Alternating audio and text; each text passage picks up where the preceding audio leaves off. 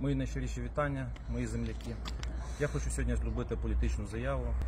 Я складаю повноваження голови Луцької районної і складаю себе повноваження депутатське. Це рішення було для мене нелегким. Хочу пояснити причину, чому.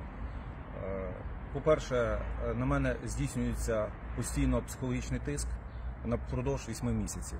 Коли мені щотижня деякі люди, я, я думаю, вони зараз це відео дивляться, і щотижня мені заявляють, що проти мене порушена кримінальна справа, що мені готовляться дати підозру, що е, мене будуть судити.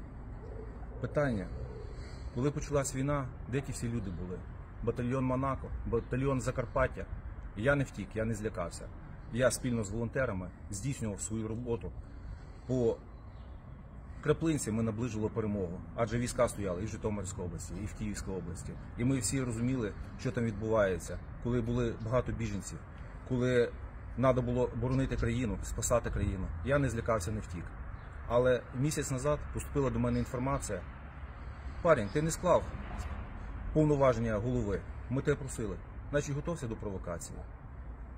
Тобі просто підкинуть гроші. Зайдуть декілька людей, які дадуть свідчення, що ти дійсно взяв. І повір, тебе будуть судити. То я для себе прийняв рішення скласти повноваження голови Луцької районної ради. Хай вони тішаться, хай тішаться. Але повірте, я кожний день все рівно буду працювати, волонтерити. Я сьогодні знаходжуся в іншій країні. Я прийняв рішення виїхати. Але кожен день я буду е, все-таки відправляти вантажі гуманітарні в Україну. Буду всі організації піднімати для того, щоб наблизити нашу перемогу. Слава Україні! Героям слава!